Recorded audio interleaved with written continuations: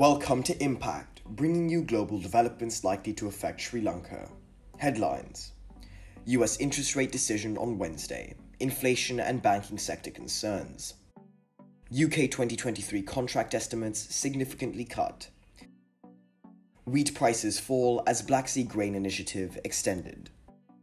On Wednesday, the Federal Reserve will announce its latest interest rate decision. A turbulent banking industry, as well as stubborn inflation, which rose by 6% in the year to February, will weigh on the central bank's determination. The world's largest economy continues to grow, with non farm payrolls increasing by 311,000 jobs in February, 50% higher than expectation.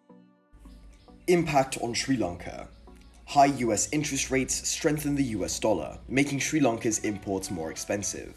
However, given the country's strict import controls currently in place, the impact is likely to be less severe. A positive outcome is the likely increase in exports from Sri Lanka aimed at servicing the growing US economy. The United Kingdom's Office for Budget Responsibility now expects the economy to shrink by just 0.2% in 2023, compared with the 1.4% fall it predicted in November. However, the UK is the only major economy forecasted by the International Monetary Fund to contract this year, with the lending agency pointing out a combination of reasons for such an outcome. Impact on Sri Lanka.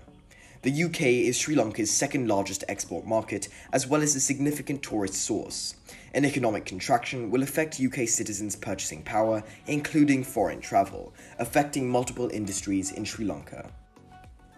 Wheat and corn prices fell following the renewal of an agreement allowing Ukraine to export grains out of key Black Sea ports. The initiative, brokered by the United Nations and Turkey in July, resulted in a decline in food inflation. Impact on Sri Lanka. Sri Lanka is fully dependent on wheat imports for flour milling. Further, a reduction in corn production has meant increasing dependence on imported wheat for animal feed milling. Decline in such commodity prices helps lower the country's food inflation. And that's a wrap for this week. Subscribe to our YouTube channel to stay updated on the latest developments in Sri Lanka. Until next time, have a great day.